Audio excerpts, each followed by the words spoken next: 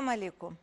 Oilaviy telekanalida oila mundarijasi mundarijamizdan o'rin olgan bugungi mavzu muhokamasiga o'tishdan oldin studiyamizga kelgan aziz mehmon va mutaxassislar bilan tanishtirsam. Toshkent shahrining olmazor tumanidagi mirzag'olib mahallasi yarashtiruv komissiyasi a'zosi muhammadxon sultonxonov. Huquqshunos sohiba bo'ronova toshkent viloyatining qibray tumanidagi yangiyo'l mahallasi mutaxassisi mahalla iftixori ko'krak nishoni sohibasi ra'no ergasheva tibbiyot fanlari nomzodi dotsent lola abduqodirova. Toshkent shahrining uchtepa tumanidagi alixon to'ra sog'uniy nomli mahallaning xotin qizlar bilan ishlash bo'yicha mutaxassisi muattar eshmuhammedova. Respublika nuroniy jamg'armasi qoshidagi faxriy ayollar bilan ishlash guruhi rahbari o'rinbosari olima mukarrama muhiddinova. Toshkent shahrining olmazor tumanidagi beruniy mahallasi faoli mehnat faxriysi saidahmad obidov. Shu bilan birga bugungi ko'rsatuvimizda bir guruh mahalla faollari ham ishtirok etishmoqda. Aziz mehmonlarimiz mutaxassislarimiz hamda davramiz qatnashchilari barchangizni studiyamizda xush ko'rdik. Xush kelibsiz.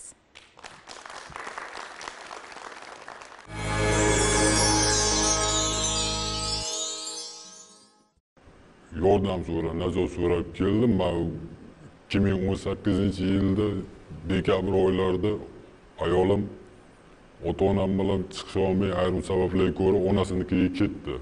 Hozir biza nafaqat qizlarni balki yigitlarni ham hayotga tayyorlashimiz kerak.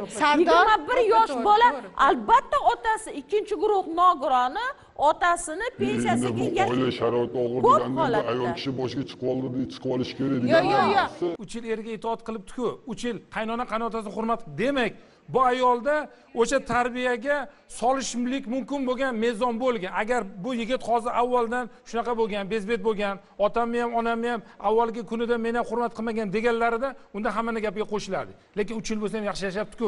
Demak bu ayolni to'g'ri yo'nalishga solishga imkoniyat bor edi. Sardor mana shu imkoniyatni qo'ldan chiqarib yubordi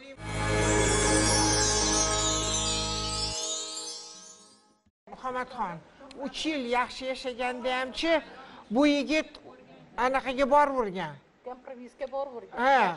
silab ha. saniki ma'qul deb o'shani bu uch yil yaxshi yashaganman deb o'ylayapti. Shu uch yil davomida bu xotini chizgan chizig'idan yuravergan xotini Aslida desa, uch yil "Xo'p, ham yaxshi o'yinga boraman. desa, xo'p degan anuni olib bering. Desa xo'p degan mana buni olib sardorbek shunaqa bo'lganmi? O'sha paytda o'zida qo'ldan shu uch yilni vaqtini nimacha kuniga qaraganman lekin boshida ana qaragan. ana ko'yniga qaragan. Endi man aytmoqchimanki muhammadxon mana hozir ali yana bir gul parvarishga qaytsak ha deb gulga suv quyuversangiz ham tegi chiriydi ha deb kovlayversangiz ham tegi chiriydi. Uni qachon kovlash qachon suv quyish qachon ishlov berishni vaqtini bilish kerak. endi man hozir o'ylayapmanki mana juda ko'p o'g'il bolalarimizda hozir man ko'plar aytaman oilada nimaga ajrim ko'payib ketganda man erkaklarni zabti qolmadi deyman. Oldin erkak kishini zabti bo'lardi atrofdagi ayollar qo'rqardi. qilsin darrov militsiya Endi- yuguradi. endi bu aytmoqchimanki bu yigit yumshoq tarbiya olgan. Man hammaga ham berilmagan zabt. Olloh tomonidan ham beriladi bu. Hammaga ham vajohat berilmagan. shuncha gapdan keyin yarashaman man maqsadim shunga shunga uchun keldim bu deyapti. Marhamat, opa, marhamat. mevasi bo'lyapti bir daqiqa yosh uylantirganligi ikkinchi o'rinda bu ota onani aybi yana ikkinchi o'rinda sabrsizlik o'sha uylangan turmushga chiqqan qizni ota onasini adashganligi uyiga qizi bordimi shunday yaxshi hayoting bor. Bir vaqtlar ota onalarimiz biza ota onalarimiz bitta ko'ylakni kiyganda yirtilguncha o'sha ko'ylaklar bilan yashaganlar. Sabrli bo'lgan hozir xohlagan narsasini kiyadi xohlagancha yeydi ichadi. Nima uchun sabr qilib o'sha ota onani zurriyoti bilan yashaydi? Yana o'shandan farzand ko'rdi. Nega ota onani uradi? Bir kuni qaytar dunyo qaytadi o'z qo'shig'ini aytadi aytadi bu narsa. Chunki bu yosh o'ylantirdimi? Bir joyda ishlamasa bir oylik topish uchun yo bir joyda o'qish tugatmagan bo'lsa yo ishlagan opa ishlagan. Orada ma'lum vaqt ishsiz o'shanga qoniqmayapti o'sha qiz qoniqmaydi qiz qoniqmaydi o'sha pulga qoniqmaydi. Yana uni ko'chaga chiqib ketishiga bu otamdan so'ra ketishing uchun onamdan so'ra ha deb oyingga boraverma onasi qabul qilib ke qizim ke keyin uyimga siqqan tor qornimga siqqan keyin uyimga sig'sa. Nimaga ota ona qizi uchun shug'ullanmaydi? Nimaga? U kimdan farzand ko'rdi? Shu bolaga xiyonat qilibdimi? U dunyoda uni javobi juda yomon narsa. To'g'ri. farzand Rahmat, uvola opa. ham biri sardorbekga qo'yyapmiz ayb e, kelinga qo'yyapmiz ota onaga qo'yyapmiz hayot shunaqa narsada uni bir oilani bir bichimi yoki bo'lmasam bir aniq bir qolipi yo'q.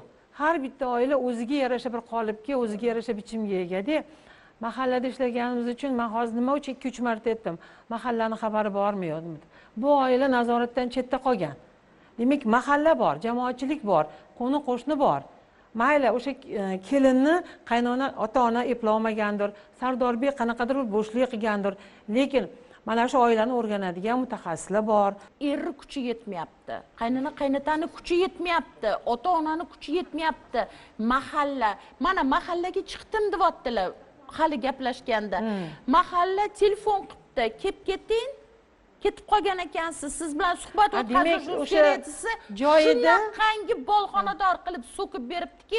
To'g'rimi sardorxon to'ppa to'g'ri. Uyalganidan mahalla xodimi? Voy voy voy xotiningizni tili o'tkir ekan. Biza gaplasha olmaymiz. Yo'q man nimaga aytyapman bu gapni lola opa?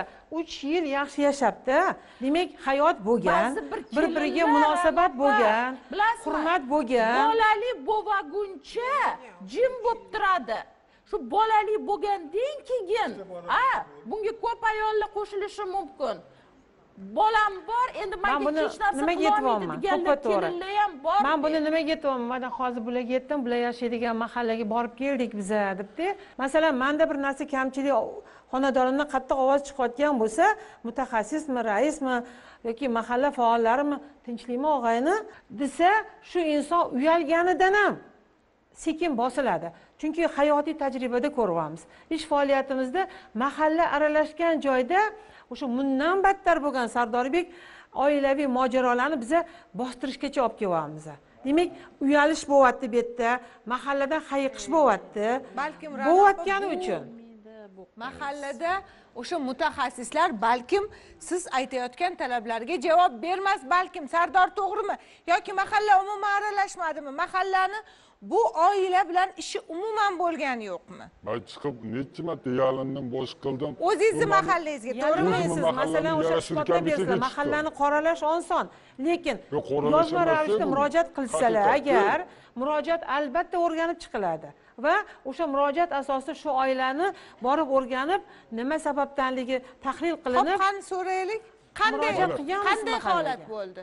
Mana man chiqdim man man o'sha oxir marta bu farzandim olib ketayotganda manga yarashuvchi o'sha yerda xotin qizlar raisi aytdiki o bolam jahl qilmagin dedi hozir jahlda olib ketyapti bolani uch to'rt kun yursa onasinikida jahldan tushgandan keyin gaplashamiz ho'p dedi.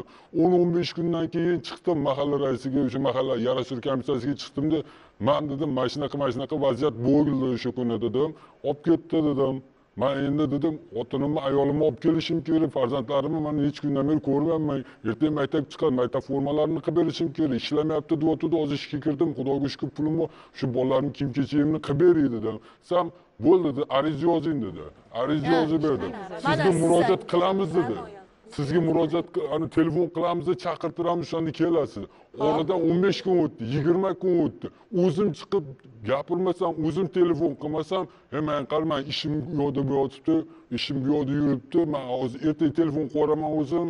Bittasi anavi deydi bittasi bu deydi man yosh bola ko'rib yubordida u yoqdan buyoqqa lokullat hokimiyatlargacha borib keldim yunusobod hokimiyatigacha borib gapirdim gapir manga mahallada mana shunaqa murojaat qildim manga hech qanaqa anaqa bo'lmayapti o'zinglar chaqirtirib sizlar ayolimga bundoq uyiga borib murojaat qilib yo'mlas qilsanglar yordam beringlar desam hop dedida mahalla komissiyamga yana telefon qilyaptida mana shu bola bilan anaqa ishlanglar mana shu bola mana shunaqa davo qilib kelyapti ishlamayotgan ekansizlar deb aytdi undan keyin yana manga telefon aytgan. bo'ldi kelgin deyapti hal qilib beraman dedi yana oldiga bordim mahalla raisini oldiga aytsam manga qarab turib bo'ldi. Man ishlamaymanda xotinlar shug'ullanadi bu narsa bilan dedida bo'ldi xotin qaysi xotin shug'ullanadi man bilmayman. Deyapti u xotinni qidirib topdim oxiri telefon qildim man sizga qilyapman hozir men ish qilyapman qilyapman ish qilyapman deb u katta xotinni ham telefon qilib joniga tegib ketdimmi oxiri telefonni ko'tarmaydigan bo'lib qoldi Ra'no Undan keyin man hamma foydasi joyda bo'lmagandan ham keyin shu sudgacha keladigan bo'ldim. Sardorjon mana masalan hozir aytayotgan faqatgina bitta oilani taqdirini ko'rish uchun emas. O'zi aslida manimcha ijodkorlar bu ko'rsatuvni tashkil qilishni asl ma'nosi mahallani harakatga keltirish. Meni nazarimda shunaqa. Chunki mahallani har bittasida bizani qush misolida aytib berdiku. O'tni o'chirishga ketayotgan qush misolida agar faqat mana shu jamoa bo'ladigan bo'lsa uni hech kimga kuch yetmasligi aniq. Lekin mana shu qushdan ibrat olib boshqa qushlar hammasi agar harakatga keladigan bo'lsa o't albatta o'chadi. Demoqchi bo'lganimiz mana shuni misolida har bitta mahalla o'zi bor endi. Biz bu narsani e, muhokama qilmoqchi emasmiz to'g'ri tashkil qilib har bitta mahallada huquqshunos bor. Har bitta mahallada masalan shu inson ishidan charchab kelganda ham mahalla uchun bir xayrli xizmat shunaqa bitta oila bor deb shuni to'g'ri tashkillashtirib iltimos qilib olib chiqsa hamma bajonidil men o'ylaymanki oila uchun xizmat qiladi. To'g'ri. bizni millatimiz oilaparvar millat. Shuning uchun demoqchi bo'lganimiz mana shu bir ibratki demak hamma mahallada shunaqa tarkibni shakllantirish mumkin. Bitta masalan yoshi ulug' inson hayot ko'rgan inson. Bitta masalan shunaqangi bir tibbiyot sohasidan xabarlar bor. E, psixolog yoki bo'lmasam pedagog va diniy kadr hammasini yig'ib turib masalan agar shunaqangi muhokama jiddiy ko'riladigan bo'lsa biz o'ylaymizki bizni e, talofatlarimiz anchagina kamaygan bo'ladi. Shunga misol qilib muhammadxon kechagi bo'lgan voqea. Mana bir uch to'rt kun bo'ldi bir oila chiqdida oila boshlig'i shunaqa kelinim ketib qoldi. Shu bir oydan beri kelmaydi bir o'g'il bir qizini ham olib ketgan. Eri xizmat safariga ketgan. Shuni endi bir suhbatlashsangiz telefon qilsam bormayman deyapti. E, mayli man o'zim borib kelaychi dedim. Adresini bering desam man borsam mayli boring dedim. Birga bordikda man ko'chada tura qolay deydi. Uch to'rt marta kirganda juda dilini ortgan ekanda shu bilan man o'zim kirdim taqallatdim mumkinmi desam e keling keling dedi. Bordim. O'tirib gaplashsam man aytdim qizingiz qani? Biz olib ketgani keldik. Man o'sha mahallani oqsoqoli bo'laman. Bir suhbatlashaylik desam kuyov xizmat safari bilan u yoqqa bu yoqqa endi ilmiy safari bilan bu safari bilan buni safarlaricha ko'p ekan. Olgan oyligi ham bizaga to'g'ri kelmas ekan. Man aytdim nima sizga aloqasi bor? Otasi ishlab turibdi onasi ishlab turibdi uyda qaynona qaynotasi bu hamma narsasi bo'lsa moshinasi bo'lsa uchastkasi bo'lsa nima anaqasi bor? Bolalar o'sha yerda erkin yashasa bo'lmaydimi? Desam "Nima, mani uyimda yomon yashayotgan ekanmi? Man aytdim qiz qayerda desam olay bozorida. Nima qilyapti olay bozorida desam olay bozorida savdo qilyapti. Endi borgani soat to'rt edi man aytdim yuring qizingizni oldiga boramiz nima sotadi u yerda dedim. Shundan so'ng man kartochka piyoz sotadi. Bordim olay bozoriga. Haligi borib yig'labyubordi u yerda odam. Keyin man sekin borib surishtirsam amaki nimaga keldingiz? dedi. Man aytdim olib ketgani keldim bolam yig'ishtir bu ishlaringni. Ikkita bola bilan desam amaki erimni topgan pulini ham mazasi yo'q yurish turishi ham ko'p. Shuning uchun tirikchilik qilay deyapman man aytdim yo tirikchilik yaxshi. A uydan so'ramaysan eringdan so'rashing kerak edi. Qaynota qaynonangdan so'rashing kerak edi. Ikkitani bolani olib indamay ketasanmi bolam? Dedim shundan birpas turdida yig'lab yubordi "Ha, og'ir botdimi dedim. Necha kundan beri bu ishni qilyapsan desam o'n besh kun bo'ldi. Oson emas tirikchilik qilish dedim. Uyingda ikkita bolangni olib qo'lingda diploming bor dedim. Ishlasang bo'lmaydimi dedim. Yur dedim. Man yana shu qizni mashinada olib uyiga bordim uyiga olib boruvdim ha bolam nima mahallani oqsoqoli kelsa oldiga tushyapsanmi aytgan gaplaring nima bo'ldi degdi ada qiynalib ketdim dedi. O'zi bo'yniga oldi man aytdim eringni yaxshi ko'rsam ko'z ochib ko'rgan ering bu ikki dunyo boshqasi kelsa turmushing turmush bo'lmaydi ona qizim ishonma ko'chadiyliga hozir shu mana shu vaqtda san uyingga ket yur man bilan dedim shu bilan adasi ketsang mayli endi o'ylab ko'r gapirgan gaplaringni dedi. Ikkita bolani oldi mashinada olib kelib qo'ydik qarang taqdir taqozosi bilan shu kuni eri moskva degan shahardan yetib keldi. Chindan ham said ahmad aka endi aytmoqchi edim ra'no opa. Chindan ham balkim ota onasini to'g'ri lekin ba'zi holatlarda ota onasini gapiga quloq solmasada o'sha mahallani faollari mahallani hurmatli insonlari borsa quloq soladi. Lekin sardorbek aytayotgandek qo'ng'iroq qilsa boshqa ishim bor desa qo'ng'iroq qilsa ishim ko'p desa mahallani eng avvalo oilalar mustahkamligini ta'minlashdan tashqari yana qanday muhimroq ishi bo'lishi mumkin ra'no opa? Mana guvoh hokimiyatdagilargacha qo'ng'iroq qilishgan. Shundada baribir ta'sir o'tkazisha olmaganku. Ishlashni xohlamagan mahalla xodimi baribir ishlamas ekan. Shahlo bundayda bu yerda ikkita mahalla bor. Hozir said ahmed akam aytib bergan e, holatda o'sha kelini ketib qolgan oila said ahmed akamni oldilariga keldi. Ho'p mana hozir sardorbek bilan gaplashganimizda mahalla bilmaydimi? Biladi. Bilasizmi man indamay o'tiribman gapirishim judayam og'ir. Negaki ikkita norasida bola uch oydan beri otasini ko'rmaydi ko'rolmayotibdi. Bu yigit kechirasizlar hammamiz buni yonini olyapmiz. Man ham shuni yonini olyapman. Lekin yigitmisan mahallang quloq solmayotibdimi bitta kattaroq odamni oldiga borgin mahalladan. Juda to'g'ri aytyaptilar. Mahallada ne ne nuroniylar bor.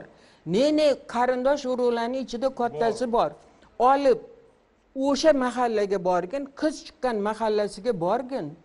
U yerda ham mahalla bu mahallada yomon ishlayotgan bo'lsa u yerda ham u mahalla ham yomon ishlamayotgandirku.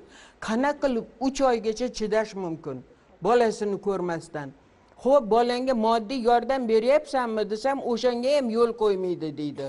Ha nimaga indamay o'tiribsan uch oydan beri? Sardorbek bu qanaqa gap? man bo'lsam agar uch oy bolamni ko'rmasam bilmayman u mahallami bu mahallami xotin qizlar qo'mitasimi kimga desa yetib borgan bo'lardim man boram bolamni ko'rishim kerak. Edi mana necha marta huquqshunos sinimiz shu yerda o'tiribdilar. Huquqshunoslarni oldiga borgan bo'lardim. Mani huquqimni taniting o'zimga. Nimaga man farzandimni ko'rolmayapman? Nimaga man farzandimga yordam berolmayapman? O'qish ochiladi ertaga. Kiyim boshi nima bo'lyapti? O'quv anjomi nima bo'lyapti? Maktabga tayyorgarligi nima bo'lyapti? Agar yosh bola mana shundoq vaqtidan ota onasini janjalini ko'rsa u buvisi kelib bu buvisini urib ketsa onasi onasi borib otasini urib kelsa qanaqa keyin kelajakda qanaqa bu farzand bo'lib yetiladi? Kelajakda qanaqa bu oilani boshlig'i bo'ladi? shuning uchun Sardor. hamma sizni yoningizga olayotganim bilan man hozir sizga mana shu qattiq talab qo'yyapmanki uch oyni ichida erkak kishisiz ikkita bolani otasisiz qanaqa qilib bo'lsa ham yo'l topishingiz kerak edi. Shuncha insonlar sizni tomoningizda turibdi. Shuncha tashkilotlar shuncha mahallalar sizni nahotki mahallangizda birorta shunday onaxon yo'q otaxon yo'q yur bolam man san bilan birga boraman deb. Nimaga shu vaqtgacha qo'ng'iroq qilganingizni mana said ahmad aka man boraman deb turibdilar. Uch oy bolani ko'rmasdan chidashlik mumkinmi? Bu yerda albatta sizni aybingiz bor. Man borib olib kelaman deyapman shu narsaga harakat qilaman deyapman u aytyaptiki uyimga qadam bosib kelsen deyapti mani eshigimni taqillatib kelyapti qizimni bermayman desam bolamni ko'raman deyapti deb man man sani ustingdan nol ikkiga murojaat qilib sani qamataman deyapti nimaga man man shu gapiga ishonaman qamatishiga nima? nimaga mana Oldin so'raymiz. Birinchi savolim siz e, aytdingizki o'sha boshiga qaytamiz endi voqeani dastlabki kunlar yillarida turmushimizni yaxshi yashadik dedingiz. To'g'rimi?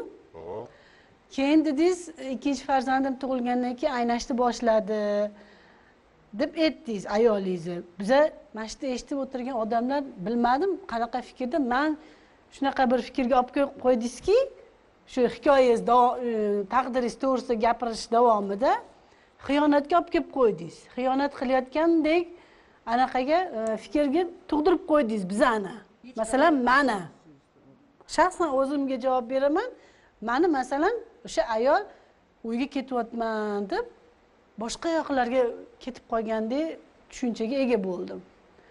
Siz e, o'sha xiyonat qildi deb o'yladim bolani olib tashladi dnk qildiraman degan gaplar ham bo'ldi.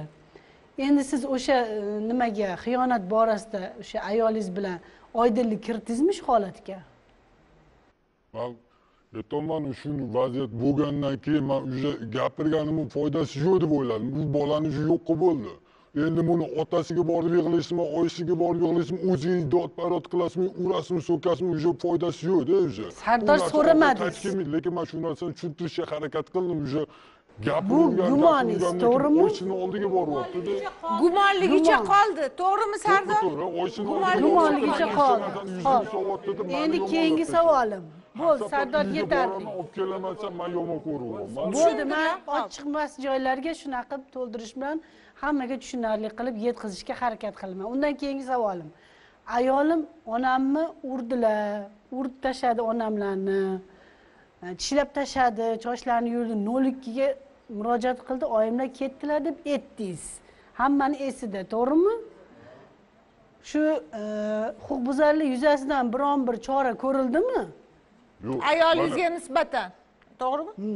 Agar mana manga Huquqbuzar uchastkavoylik keldi uchastkavoylik keldi onam yozaman deb banisani qog'ozlari bor onam yozaman deb tursalar uchastkavoy mani anaqalar ham o'sha yerdagilar aytishyaptiki bo'ldi anaqa qilmanglar bir biringlarni ustinglarni yozmang xola siz hozir keliningiz ustingizdan yozsangiz hozir keliningiz o'g'lingiz ustidan yozib beradi ertaga qamalib ketadi undoq bo'ladi bundoq bo'ladi deb. keyin man o'sha yerda ham Qanday asos bilan aytdi o'g'li? man onamni ushlab turdim ona mayli bu jahl qo'yib man ichib turinglar mayli anaqa qilib qani qaqqacha bor nima ona anaqa qilib ona ona qilib onamni ushlab turdim o'sha yerda ham man lekin mana hozir borib olib kelmayapsan man olib borib Endi Sardor kelaman, to'xtang. yalinyapman joyi keldi bo'ynimga pichoq tirab Sardor urgan kunlari bo'ldi o'n besh kala qamalib chiqyapman kim chaqtiradi kim? to'xtang kim? Pichoq qaynatam pichoq qaynatam Kimga?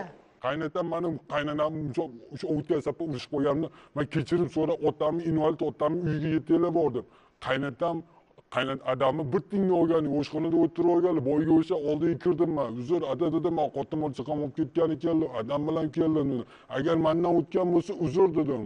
Qizingizga man boshqa anaqa qilib yomon gaplarni gapirmayman uzr desam shundoq ustol ustida turgan pichoqni oldi yoqamdan ushlab turib bo'ynimga tiradi erkak bo'lgan hayotda deb manga anaqa qo'ydi pichog'ingni olguncha pichoqni otib yubordi mashinasini katta kulchi bor o'shani olib bo'ynimga urdi. Bo'ynimga urgandan keyin o'sha yerda ham chiqtirdi yig'lab qon yig'lab chiqib ketdi adam sudrab olib chiqib ketdi. O'sha yerda ham nol ikki keldida man qoyil qolmaganim o'sha yerda ham nol ikki kelib turdi. Yana o'zi mana nol ikki chaqirganman. Mani qaynatam xotin bola chaqam olib ketaman deb keldim. Qaynatam u dedi nol ikkini man chaqirganman. O'sha nol ikki o'zimni ko'tarib olib ketib o'n besh kunga qamab qo'yyaptida Demak, manga nima deydi? noqonuniy chora ko'rildi, to'g'rimi?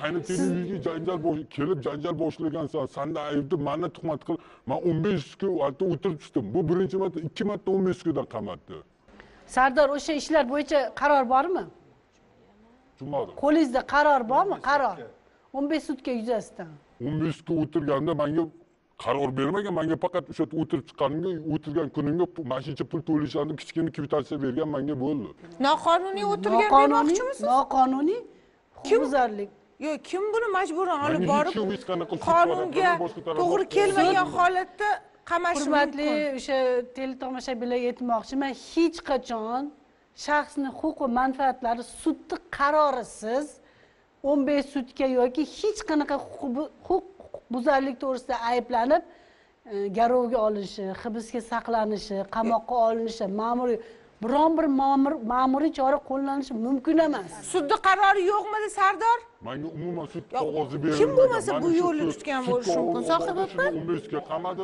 qaysi rayon? Yunusobod e, anaqa zangiota tumaniki qilganda shu ishni profilaktik inspektorlarni bilasizmi familiyalarini yo'q ular tanimayman man ularni ko'rmaganman bir marta Ko'rsangiz taniysizmi? eslamayman ham. eslolmayman ko'rsangiz taniysizmi ko'rsangiz taniysizmi yo'q aniq eslolmayman mana shu Aniq aniq deb eslolmaysiz aytolmayman nima desa oradan ancha vaqt o'tdi ular kundan kunga almashadi endi buni ota onasi ya'ni kelin tomonni ota onasini qandaydir bir kelishuv asosida buni qamab qo'yishgan degan taxmin chiqyaptimi hozir? Yo'q noqonuniy qanaqa qilib qarorsiz o'n besh sutka o'tirib chiqishi mumkin. Qaysi rayon ko'rgan bo'lishi mumkin? Qaysi o'sha surishtiruvchi tergovchi material tayyorlab qaysi sudga murojaat qilib olib chiqqan Balkim buni qarorsiz xabari yo'qdir. bu narsa bo'lishi mumkin yo'q emas. balkim sardorni xabari yo'qdir. Balki o'sha qaror buni qo'lida bo'lishi shartmidi albatta tanishtirilishi kerak san mana bu ishda ayblanyapsan sanga nisbatan mana chora buni voqea joyidan dabdurustdan olib borib qamab qo'yishgan to'g'rimi? Mani o'sha yerdan uy olib ketib darhol manga uydan mana o'sha kuni mana anaqa narsa bo'lgan o'sha qolib ketganman kaltayib chiqib ketgan nol ikki bo'lgan kelasan yozib berasan dedi. Ha ho'p dedim ertaga boraman dedim. Keyin adam Nimani masalasi yozdingiz? bo'lmay qoldi borolmay qoldimda keyin manga xotinim telefon qildi de bo'ldi dedi. Adasi dedi man boraman uyga dedi bolalarni olib kelgin dedim adam man yozgan ekansiz qaytarib oling man bolalarni uyga olib boraman dedi. Ho'p dedim shu kutib oling dedi qo'limda setkan bor aslinkiga chiqib turing dedi. Ho'p dedim. Aslinkiga chiqib tursam odamni qarasam ayoqda manga ko'zimga shubhali ko'ringan nexia mashina turuvdi sal nariroqda shunda bolamni oldiga kelib bolamni bitta ko'tarib bag'rimga bosishim bilan o'sha nexia paq paq qilib ikkita odam milisa tushgan qo'limni qayirib mashina ichiga otib yubordi shundan keyin gov degan qarzu qanaqa edi qamoqxonaga olib borishdi bir sutka ushlab turib ertasi olib ayol chiqib o'z eriga shunaqa sudga bordingizmi o'shanda? sudga olib chiqdi Dahshat. manida anaqa tuzelga olib borib qamab qo'yyapti ha sudga olib chiqildi qaysi rayon sudiga chiqdinglar zangetanikiga chiqqan zangida demak sud qarori bor hammaga tushunarli bo'lishi uchun ozgina e, o'sha yuridik sohadan tushuntirib o'taman. Bu bolaga nisbatan suiqasd qilib uyushtirilgan huquq muhofaza qiluvchi organlarga sud qarorisiz bunaqa jazo qo'llanishi mumkin emas. Biz agar e, ko'rsatuv tugallangandan keyin sardor bilan alohida suhbat o'tkazib o'sha qarorlarni ko'rib chiqishga harakat qilamiz a yana keyingi savolim sardor. E, uch oy davomida farzandim bilan uchrasholmadim ko'risholmadim ko'rgim kelyapti oilamni tiklagim kelyapti degan gaplar gapirdingiz to'g'ri.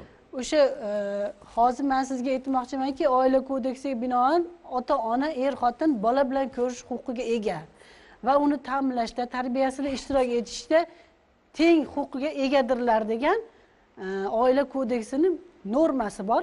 Yanglishmasam qirq oltinchi modda edi shunga asosan bolani ko'rish yuzasidan qaysi bir organga nimadir qilib hujjat o'zingizni huquqingizni himoya qilish yuzasidan murojaat qildingizmi? Sudga bordimmi?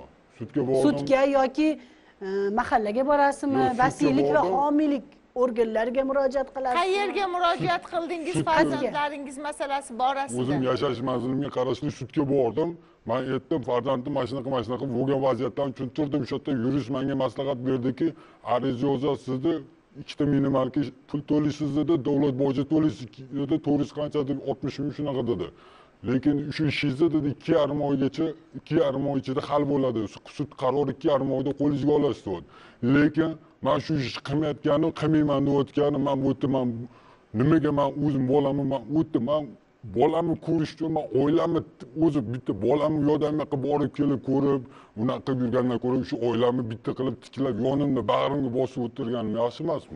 Ayni paytda o'sha vazirlar mahkamasini davlat boji stavkalari to'g'risidagi qaror mavjud.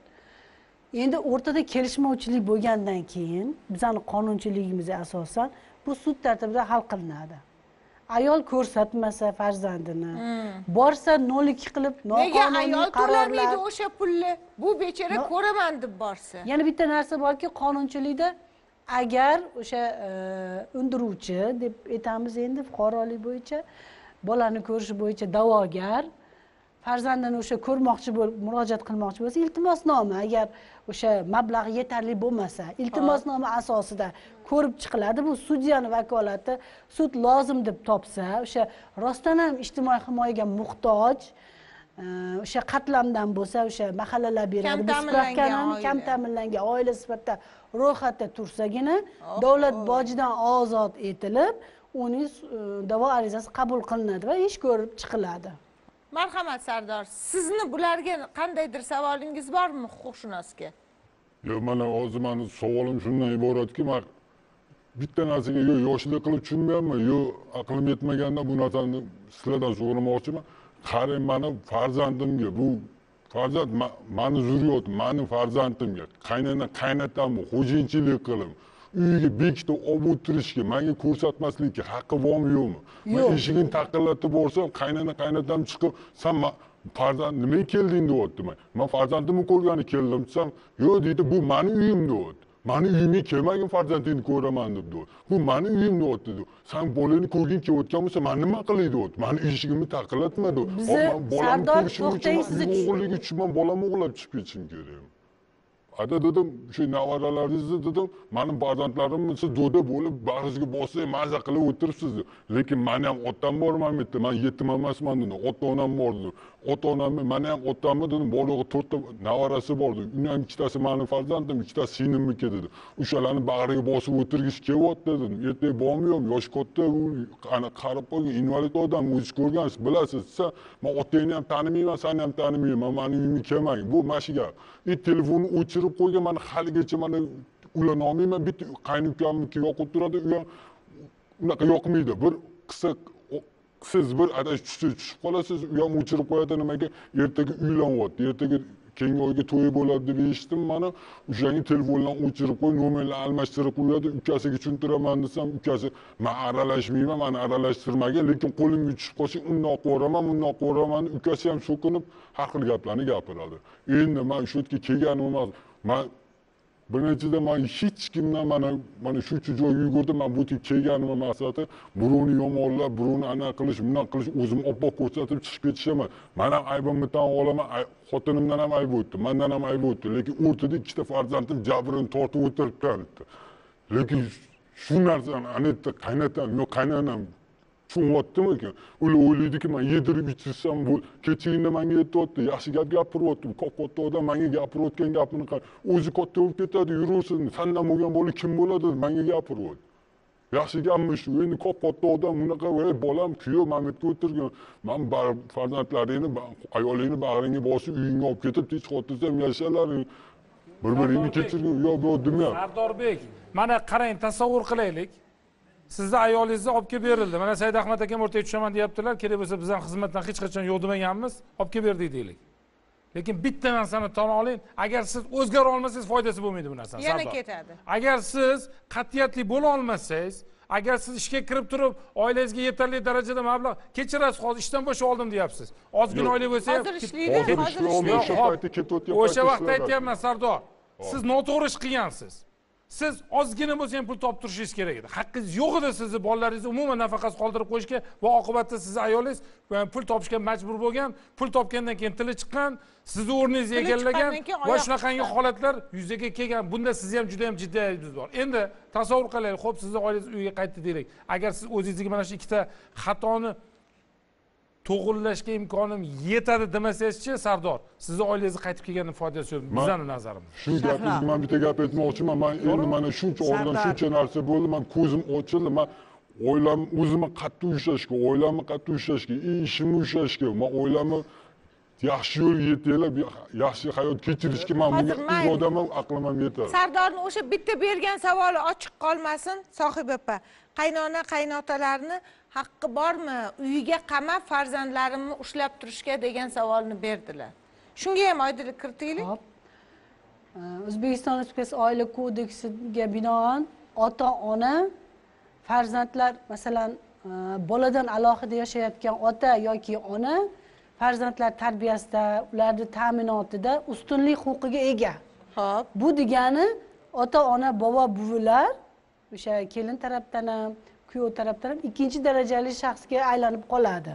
Ho'p siz o'shaning uchun man so'radim sizdan huquqni muhofaza qiluvchi organlarga yoki sudga murojaat qildingizmi? Qilgan bojlarni to'la deyishgan bu o'z bolamni o'z pulimga ko'ramanmi deb unga rozi emas. Demak siz e, davlat bojiga to'lashga imkoniyatingiz yo'q to'g'rimi E, imkoniyatim bo'lganda ham qilmasdimda bu o'zimni o'ylab qolsangiz boya opam aytdilar kulgili holatda o'zingizni mana bu yerda tug'dirib qo'ygan bolangizni yana ani davlatga borib turib pul to'lab bitta qog'oz olib o'zingizni bolangizga mana man ko'rsam maylimi desam bu g'alati narsa undan xuddi ani bolani birovni bolasini sotayotganda yo birov bolani ko'rayotganda yaxshi gap emasku Xohlamayapti, yaxshi ish bu emas holatni ep bu ko'rmayapti. qog'ozni qilgin deganda ham aqlim yetganda ham pulim bo'lganda ham qilmaymanda nimaga Sardor. o'sha narsani qilgandan ko'ra oilamni butun qilganim yaxshiku sardor bizani qonunchiligimizga asosan tartib shunaqa borasizda o'sha tegishli tartibda murojaat qilasiz. E, ko'rishadigan kuningizni tayinlanadi soatigacha siz shunaqa qilib ko'rishingiz mumkin. Boshqa imkon yo'q. Ch- chunki siz borsangiz o'sha xonadonga yana janjal bo'ladi yana o'sha e, militsiyavozlik bo'ladi. Siz o'zingizga ziyon yetishi mumkin. Gapirishyaptida shunaqa qaynatam ham qaynatam ajrashtiraman demadiyu lekin man olib kelaman yarashaman desam bu yoqqa telefon qilmagan deydi. A boraymi desam kelmagan deydi. Ayniqsa turmush o'rtog'im endi u yo'q deyapti hozir. Yashamayman deydimi man ya- manga gap yashamayman gaplashmayman deb ana telefonni o'chirib qo'ygan mana anaqa qilayotgan yo ajrashaman degan so'zni aytdimi ajrashaman demadi yashamayman dedi. Albatta endi o'sha bilan baribir bitta anaqa telefonni gaplashmayapti boshqa qilmagandan keyin o'zini bilmayman nima aytyapti nima ushlab turibdi juda xafa bo'lgan ayol. Nimadandir juda jiddiy xafa bo'lgan. Marhamat opa shu yigit mardlik qilib yigitlarni nomidan man rahmat deyman shu yigit mardlik qilish yerga kelibdi. Nega? Oilasini mustahkam qilish oilasidan yashash uchun bolalarini tirik yetim qilish xohlamayapti. Hattoki onasiga qo'l ko'targan ayolini shunday ham bo'lsa kechirib sardor man sizdan bir so'rayman Oy- onangizda ham sizga oq yo'l berdilarmi shu ustida kelishingizga balkim bergandirlar onangizni ham kechirgandirlar shu kelinni uydan chiqib ketayotgan shu Qarang. yoqqa kelayotganini otam ham onam Ming ham duo rahmat ona tegizga duo qilib ishing o'ngidan kelsin Qarang. eson farzandlaring barini bosib kelsin Ana. Garchi hurmatsizlik ko'rishgan bo'lishsada ayolingizni qaytib kelishlariga Ga- ular rozimi? Rozi ekanlar. Siz haq gapni aytdingiz studiyada o'tirganlar qayta qayta savol berishdi. Shuncha e, bizni taajjublantiradigan holatlar gap so'zlarni tingladik va sardor siz o'sha fikringizda o'sha niyatingizda o'sha maqsadingizda qat'iy turibsiz. Bu tahsinga loyiq. Har qanday holat har qanday sabablardan ham e, voz kechib oilangizni saqlab qolmoqchisiz. Va ko'rsatuv ishtirokchilaridan ko'rsatuv ekspertlaridan sizga qanday yordam kerak? Mani asl maqsadim mana shu yerda shuncha yaxshi insonlar bor. Shuni bilganim uchun ham man shu yerga na- najot izlab keldimda qanaqadir uni man yarmi yo'q tirik o'lik bo'lib qo'yaman o'lik chala o'lik bo'lib qo'yaman na u yoqqa na bu yoqqa yura olmaymanda yarmim yo'q bo'lib qolganda man uyga kirgim kelmay qoladi gohida bilasizmi ko'chaga chiqsam uyga kirgim kelmaydi nimagaki o'sha uyda farzandlarim do'shi eshitilib turardi hozir kirsangiz huvillayotibdi shunaqa kirgim kelmay qolganda shunaqa darajagacha borib qoldim mana shu yerga kelganim sababi shunaqa yosh katta insonlar bor yaxshi insonlar bor shular hech bo'lmasa shulardan man iltimos qilardim agar qo'lligidan kelsa shu oilamni xotinimni adresiga borib turib shu oilamni but qilishimga ozgina bo'lsa ham yordam bir hissalarni qo'shsa man minnatdan beri rahmat aytardim nima bo'lsa ham oilasini saqlab qolish niyatida. Takror va takror aytamiz bu tahsinga loyiq. Ko'p taajjublandik onasini urdi ayoli. Farzandlarini ko'rsatmadi haqoratladi. Qaynona qaynota bunga nisbatan kurakda turmaydigan so'zlarni aytdi. Lekin farzandlarim deyapti oilam deyapti bola chaqam deyapti. Said ahmad aka siz fikr o'rtasida ko'rsatuv o'rtasida lozim bo'lsa boraman deb aytdingiz. Lekin e, hammamiz hozir bu yigitni qaysidir ma'noda qat'iyatiga ham qoyil qolyapmizda muhammadxon aka. Shuncha xatti harakat shuncha gap so'z mukarrampa. Hazilakam narsalar aytilmadi uncha muncha so'zni eshitmadik.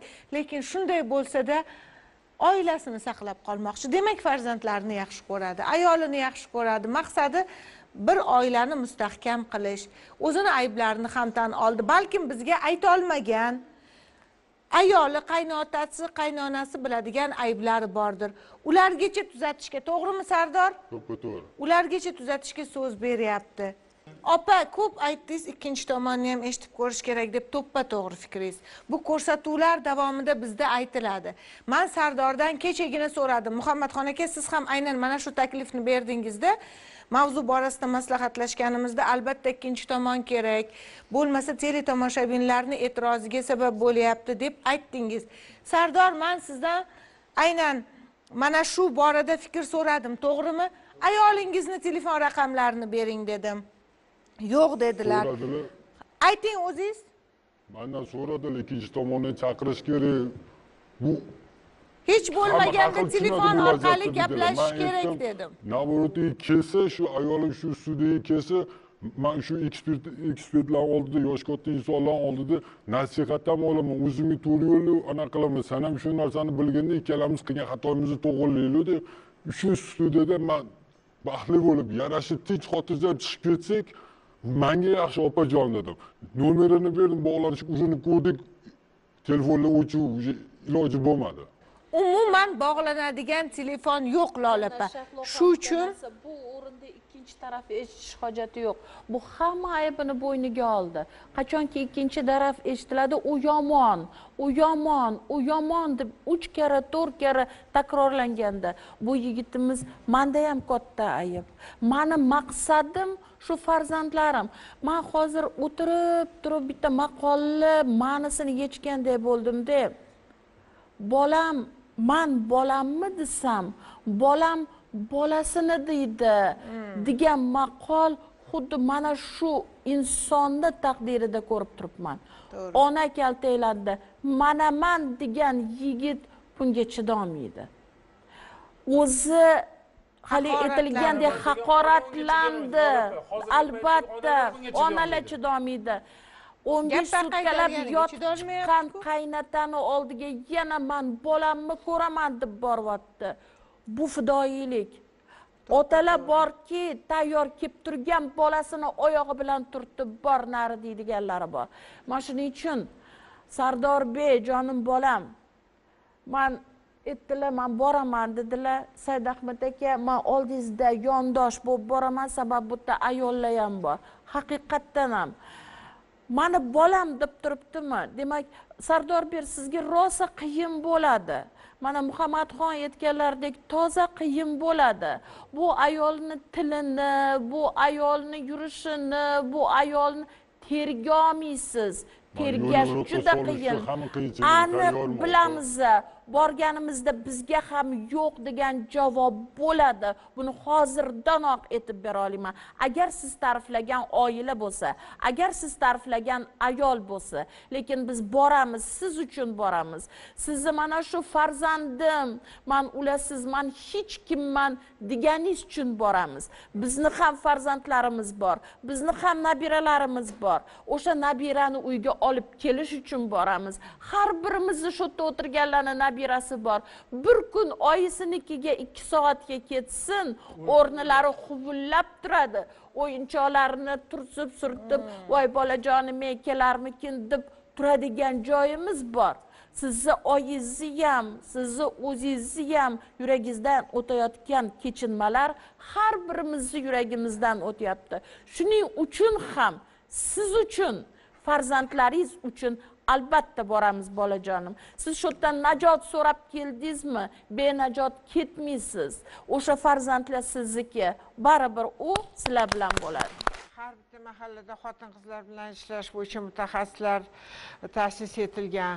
Do hozir tahlil qilib qarasam rosa xotin qizlar bilan ayniqsa qizlar bilan ishlaymiz qizlarni hayotga tayyorlash turmushga tayyorlash qizlarni pishirishga ham tikishga ham hamma narsani o'rgatyapmiz muomalaga ham o'rgatyapmizda lekin o'g'il bolalarimizni yigitlarni turmushga tayyorlash degan g'oyamiz yo'q hozircha man o'ylardimki bizni o'g'il bolalarimizni ham yigitlarimizni ham turmushga tayyorlashimiz kerak qolaversa qat'iyat yo'q o'g'il bolalarimizda qat'iyatlik yo'q. O'zini gapini aytadigan kesadigan o'zini qildiradigan o'g'il bolalarimiz. Shuning uchun man o'ylardimki man murojaat qilamanki o'g'il bolalarni tarbiyasiga oiladagi otalarimiz ancha mas'ul bilan qarashsin. O'g'il bolani erkak kishi tarbiyalasin. Bo'lsa otasi bo'lmasa amakisi tog'asi dodasi sal erkakcha tarbiya berishganda shunaqa bolalarimiz buni bor yo'g'i aybi yuvoshligi qat'iyatsizligi o'zini aytganini o'tkazib olmaganligi mana shu natijasida bu bolalar shunchalik oilasi parokanda bo'lib turibdi. Hozir sardorni oilasida bo'layotgan muammoni eshitib turib ancha burungi oilalar bilan tanishganlarimiz o'sha oiladagi muammolarni hal qilishda yordam berganlarimiz ko'z oldimdan o'tyaptida avvalambor shu kelinlarga murojaat qilmoqchiman. O'ylashadiki erimdan mana shu narsa o'tdimi bir shuni ta'zirini berib qo'ying. Bolalarimni olib onamnikiga ketdik bolasini ko'rsatmaydi bola har doim shuni aytaman yana qaytaraman. Bola o'sib kelayotgan inson emas ota onani o'rtasidagi qurol bo'lyapti. Ko'rsatmayman deb ona aytyapti ko'raman deb ota aytadi yoki teskarisi bo'lyapti. Bolalarini tashlab mana sanga deb ketib qolgan onani ham shu yerda muhokamasini ko'rdik. Faqat man shularga aytmoqchimanki keyingi pushmon o'zingga dushman deydi. Qancha qancha mana shunaqa oilalarni ko'rgan bo'lsak birorta oilasini tashlab ketgan ayol man keyin baxtli bo'lib ketdim deganini eshitganim yo'q. Nima uchun? Ayol kishi qiz bola tug'ilgandan biz uni bo'lg'usi ona deb tarbiyalaymiz ayol kishi farzandisiz hech qachon o'zini baxtli deb bilmaydi agarda farzandi baxtsiz bo'ladigan bo'lsa bundan ortiq baxtsizlik yo'q. Birorta ayol aytgani yo'qki man ajrashib ketdim lekin bolalarimni baxtini ko'ryapman demayotibdi. Negaki o'sha yoshlikda qilgan xatoyim hozir bolalarimni taqdiriga asos bo'lyapti qizimni nechta sovchi kelgan bo'lsa olmadiki onasi ajrashib ketgan ekan deb. O'g'limga kelinga borsam ey ajrashib ketgan erkagi yo'q oilaga man qizimni beramanmi? deb aytishdi deb. Bu haqiqat. O'ylamanki hozir man shu yerda g'alaba qozondim erimdan alamimni oldim. Ertaga o'zingiz qiynalasiz. Har bir muammoni o'tirib er xotin gaplashib hal qilish mumkin. Uning uchun albatta qo'liga bir qurol olib urushga tishlashga borish kerak emas. Shuning uchun biz aytamizki farzandlarimizga quloq solishni o'rganaylik. Farzandlarimizni eshitishni o'rganaylik. Farzandlarimizni fikrlashga o'rgataylik deymiz. Yoshligidan fikrlashga o'rgataylikki har bir qadamini shu qadamimni qo'ysam kelajakda nima olaman degan fikr bo'lsin. Oila muqaddas deb har gal tushuntiramiz. Man shu qaynota qaynonasiga aytmoqchiman. Uyda yurganda man baxtliman deb o'ylayapsizmi? Sizga qanchalik qiyin? Siz shu qizga qarang ikkita nabirangizga qarang kimdir yetishmayaptiku a bu hozir uch oy o'tibdi ertaga besh oy o'tsin. Balki uni ko'ngli to'qmikin? Endi o'ylab ko'ring qachon oila baxtiyor oila bo'ladi? Oilalar soni juppi aniq bo'lganda. Agar siz shu oilani baxtli qilaman desangiz albatta uni uyiga nevaralaringiz bilan jo'natishingiz kerak. Biz albatta mana shu bugungi o'tirgan ishtirokchilar bilan birgalikda tashrif buyuramiz. Siz bizni kutib qoling. Mahallada bir mutaxassis sifatida bugungi aytilgan bizani sohamizga nisbatan mayli joylarda olib borayotgan mutaxassislarni sohasiga nisbatan e'tirozlarni eshitib ozgina dilim og'ridi. Demak biz mana shu lavozimga o'tiribmizmi? Har bitta xonadonimizdagi har bitta oilamiz bizani tashvishimiz bizani baxtimiz bizani quvonchimiz. Man o'ylaymanki mana shu agar sardorjonni shu darajada e'tibordan chetda qoldirib qo'ygan bo'lsa shu mahalla e, vakillari xodimlari mutasaddi tashkilot xodimlarini aytdilar hammanglar ozgina ko'zinglarni ochib sal mundoq e, e'tiborliroq bo'linglar. Bu kabi oilalarimiz bugun sardorjonni oilasi ekan. Ertaga demak bundan ham ko'payib ketishi mumkin. Buni demak biz oldini olamiz va biz bularga yordam beramiz. Bizni yordamimizga bular muhtoj deb o'ylayman. Birinchisi. Ikkinchisi sardorjonga aytadigan gapim man yaxshi ko'raman erkak kishi qisqa lo'nda aniq gapirganda bugun dillarida shuncha dard bor ekan juda ko'p gapirib yubordilar. Ertaga oilangizga borganda uchta muhim gapni gapiring. Ortiqchasiga hojat yo'q. Oilam ayolim bolam deb keldim. Faqat shularni olib ketaman degan maqsadda bordilar. Borsalar niyatingizga yetasiz. Ortiqcha gapga hojat bo'lmaydi. Rahmat. O'zbekiston respublikasi qonunchiligiga muvofiq oila jamiyatning asosiy bo'g'inidir. O'zbekiston respublikasida oila otalik onalik va bolalik davlat muhofazasidadir va himoya qilinadi. Shunday ekan sardorjonga shunaqa maslahat berardimki bizani ekspertlarimiz e, xonadonga murojaat qilib borishni niyat qilishdi o'sha sudsiz tartibida. Agar sud bilan e, murojaat qilish kerak bo'lsa o'zim maslahatlarim berishga tayyorman. Rahmat. Rahmat. Ba'zi ko'rsatuvlarda juda yam charchab boramizda ahli oilamiz aytadi demak siz bugun ko'rsatuvdan qanot hosil qilmabsiz go'yoki yutqizibsiz deyishadi. Ular haqiqatda ba'zi kunlar bo'ladi ko'rsatuvlar juda og'ir jarayonni vaqtida talab etadi lekin men borgan paytimda meni kuchim quvvatim xuddi yangilangandek bo'ladi. Va biz oilamizga aytamizki yuringlar birgalikda aylanib kelamiz desak hammalar xursand bo'lib ketishadiki demak siz bugun ko'rsatuv sizni ko'nglingizdagidek bo'libdi. Aynan mana shu ko'rsatuv men o'ylaymanki men charchog'imga emas balki quvvatim oshishiga sababchi bo'ldi. Chunki bu insonni tabiatida qani endi har bitta inson o'ziga shunaqangi darajada bir tanqid bilan munosabatda bo'lganda edi. Oilaviy muammolarimiz juda osonlik bilan hal bo'lgan bo'ladi. Men o'ylaymanki sardorbekni oilaviy muammosi hal bo'ladi. Xudo xohlasa. Chunki hech bo'lmasam bir taraf mana shunaqangi xolis turibdiki o'zini aybini ham tan oldi va yarashtirish tarafdori. Payg'ambar alayhissalotu vassalam yigirma yoshga yetganlarida kabani buzish uchun odamlar keladi shunda bundan salgina oldingi voqeada fil voqeasi bo'lgan kabani buzishga kelgan habashiy lashkarlarni alloh taolo qushlar yordamida hammasini halok qilgan bo'ladi. Ozgina muddatdan keyin yana shu kaba buzilgan nuragan devorlari eskirgan odamlar buzib qayta quramiz deb ikkilanib haligi voqea xayollarida. Shunda kelgan odamlar aytadiki sizlar niyatinglar o'zi nima deydi?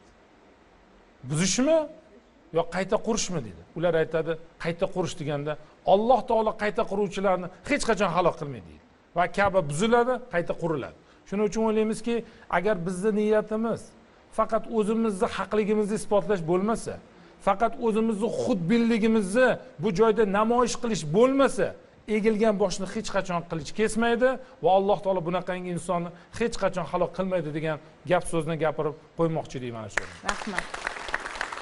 Bildirilgan fikrlar mulohazalar ishtirok uchun har doimgidek oila taqdiriga befarq bo'lmasdan o'zingizni maslahatingizni tavsiyangizni ayamasdan berganingiz uchun rahmat aytamiz va e, borishni har biringiz chin dildan xohlayotganingizni ham sezib turibmiz.